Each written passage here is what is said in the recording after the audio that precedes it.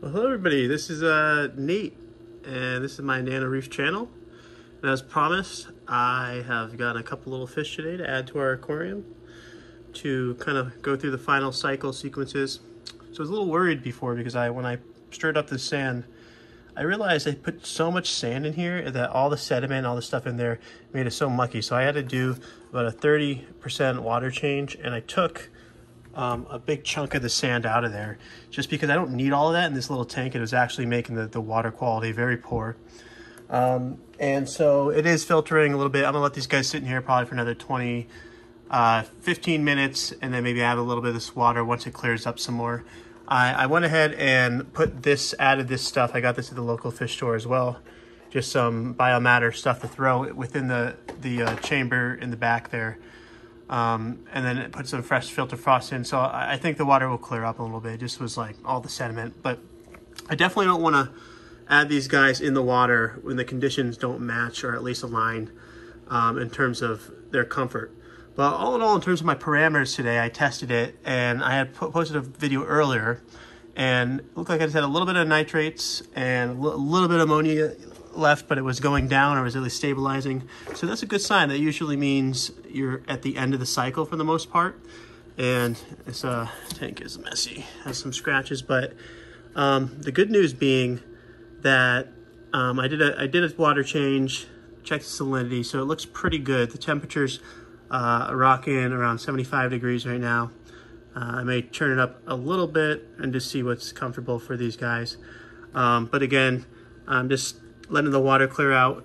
And I keep moving this rock around, which is another thing. This rock is going to be a main host for a lot of the biomatter. As you can see, I already have a little bit of algae growing on it because I've been running this light, which I probably should limit that. But I've been trying to kind of mess the tank up, so to speak, a little bit and get it grimy just so we can get this cycle rolling. Um, but yeah, it's looking like it's gonna make it uh, good. I'm just gonna wait a little bit longer for the water to clear, then we'll drop our guys in here. So, talking about the two clownfish here, um, to my knowledge, uh, these are, the, the one in front, the smaller one, is a Mocha Storm clown. And then the one in the back is just a storm. Um, but I could have got that wrong. I think that's what he said. Um, they were not cheap. They were not your average uh, clownfish. I usually have gone for this, uh, the regular breed of my past, but I wanted to get something special for this tank.